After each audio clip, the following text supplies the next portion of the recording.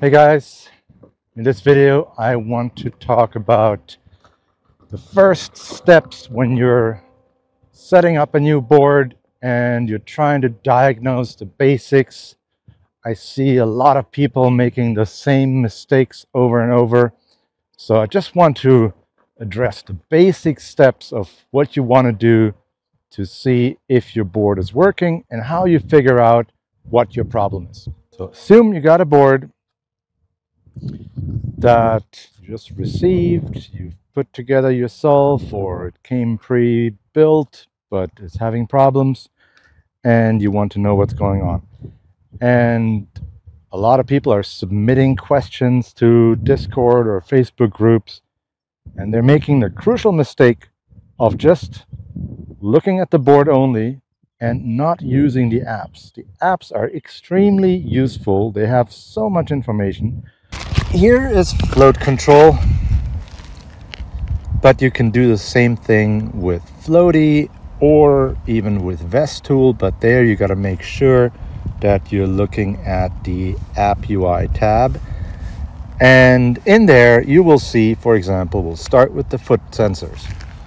Right, you want to make sure that both are recognized. So I'm pressing either one, and I can see in the upper right and upper left corner that uh, the ADC is turning black here and I can see the actual voltage. The way it works is the measured voltage when pressed needs to be higher than the threshold. The default threshold is 2.0 volts.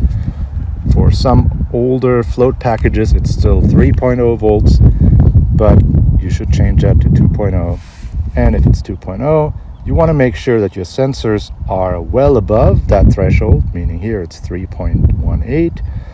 And if you let go, you want to be well below the 2.0 volts, otherwise you get ghosting. Same on the other side. So here, obviously, the sensors are perfect.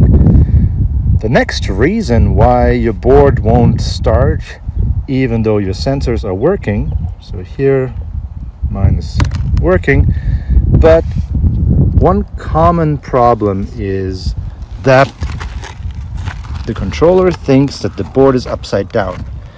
And the app will tell you that. So here we can see now that the board is reported as upside down. So now even if I press those sensors, it obviously won't engage. And so if the board is upside down, that means your IMU hasn't been calibrated correctly. You got to go back to that step. But that's usually the most common reason it wouldn't work. I discovered a bug in float control as I was making this video. So look for the very next version to come out with this issue fixed.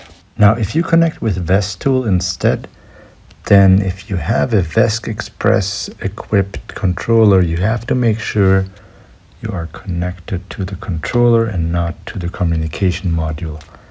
And then you will have this app UI tab. You see here the roll in the upper right corner. Symbol shows us upside down and the roll number is somewhere around plus or minus 180. In Floaty you can see the board symbol. You can vaguely recognize that it is upside down on the submenu symbol there is roll angle 177 so you can see it that way. If all that works and now your board engages but is making funny noises instead of actually riding that means you haven't done the motor calibration. Those are your most common things and yeah just look at the apps and you will see exactly what's going on. And yeah so those are the most common things. Now one other common problem that people are troubleshooting and where they're not utilizing the abilities that the apps provide and that is nose hunting or weird nose up or nose down behavior that you can't explain. And there's a lot of factors in play.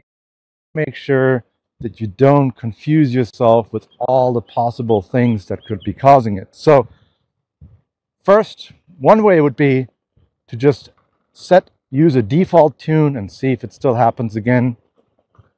But you don't have to do that. You can also enable showing the disc, um, the uh, the set points here by uh, long pressing duty cycle, for example, in float control. And now you can see which set point is in, in effect at which moment. So here you can see if things are as, as expected. And if you don't want to look at the screen while riding, you can also just screen record it. Make sure you enable audio in the screen recording. That way you can document when that weird behavior that you're noticing is occurring. And that way you can quickly figure out, is it an IMU issue or is it just one of your weird settings in your refloat package? So that should make it a lot easier to troubleshoot that. And yeah, I hope this has been helpful. See you guys next time.